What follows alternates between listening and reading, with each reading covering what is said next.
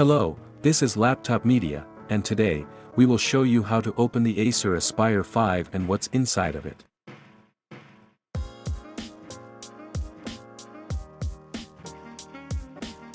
To get inside this device, you need to undo 14 Phillips head screws.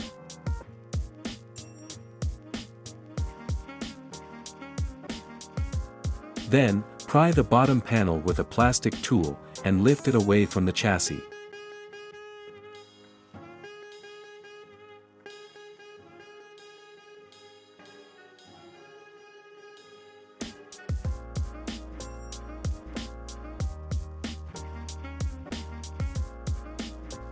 Please remember, it would be of great help to us if you just hit the like button and subscribe to our channel. That would motivate us to make even more and better videos for you. Here, we find a 50.3 watt-hours battery pack, which lasts for 11 hours and 30 minutes of web browsing, or 7 hours of video playback.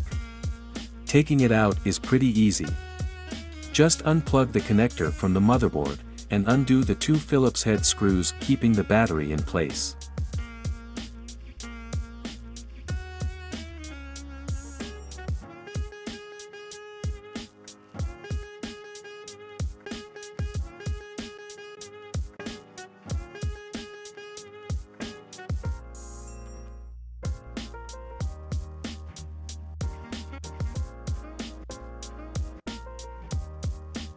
This laptop features two SODIMM slots for DDR4 memory, which can work in dual-channel mode.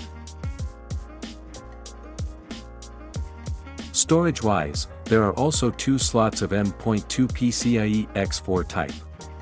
One of them supports Gen 4 SSDs, while the other is limited to Gen 3.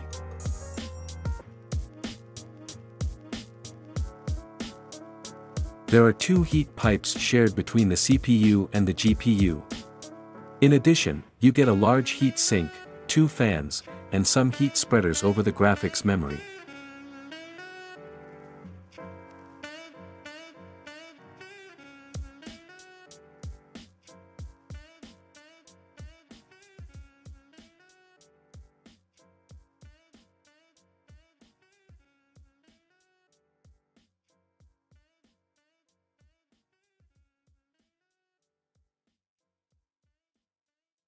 If you'd like to see more disassembly videos of the latest notebooks we would highly appreciate if you hit the like button and subscribe to the channel.